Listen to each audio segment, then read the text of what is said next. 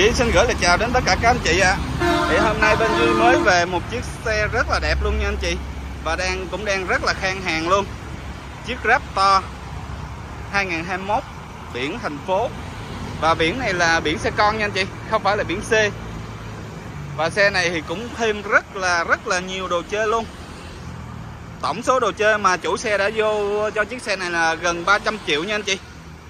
Xe này cũng đi rất là ít mới chạy có 12.000 km thôi. Nên nội ngoại thất xe là như mới. Thì phần bên ngoài thì à, chủ xe cũng đã dán keo à, BBF toàn xe rồi.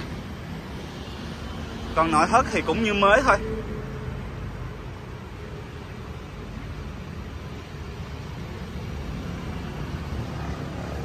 Có luôn cam hành trình đây ạ. Tất cả đều như mới nha anh chị. Các anh chị lấy xe này về thì à, đặc biệt là các anh chị ở thành phố Hồ Chí Minh trước tiên là đỡ tốn tiền đăng ký 20 triệu nè còn đỡ thêm tiền vô đồ chơi cho xe nữa. Chủ xe đã vào đủ hết rồi.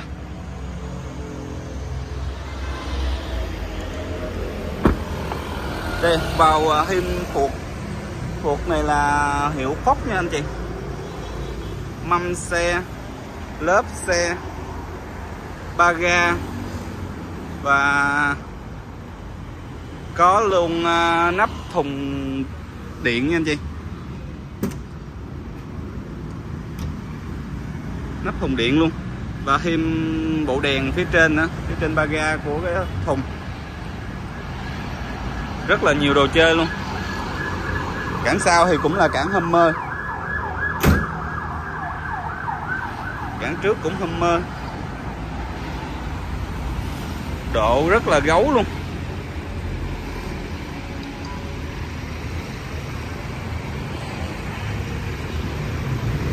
Xe này thì như mới rồi chất xe thì miễn bàn. Ghế không một miếng nhăn nào luôn. Vô lăng cũng vậy.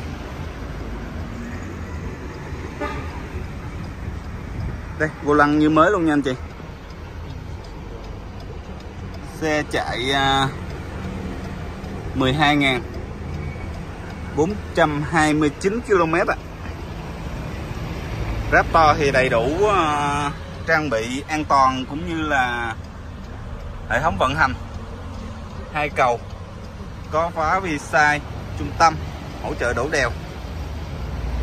Đầy đủ tiện ích.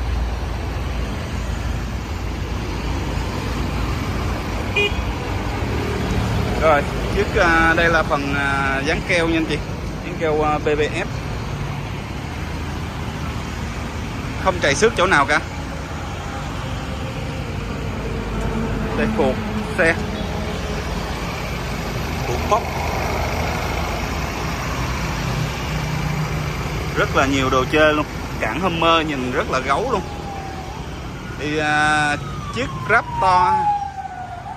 2021 nhập Thái Lan biển số thành phố và mới chạy có 12.000 km này thì hiện bên Duy đang chào bán là 1 tỷ 468 triệu còn hơn lượng nha anh chị. Các anh chị quan tâm thì hãy liên hệ với Duy qua số điện thoại là 0908 779 773 thì Duy sẽ hỗ trợ tối đa cho các anh chị nha. Duy xin cảm ơn à, tất cả các anh chị đã xem hết video của Duy Duy xin chào tạm biệt và hẹn gặp lại ở video sau ạ.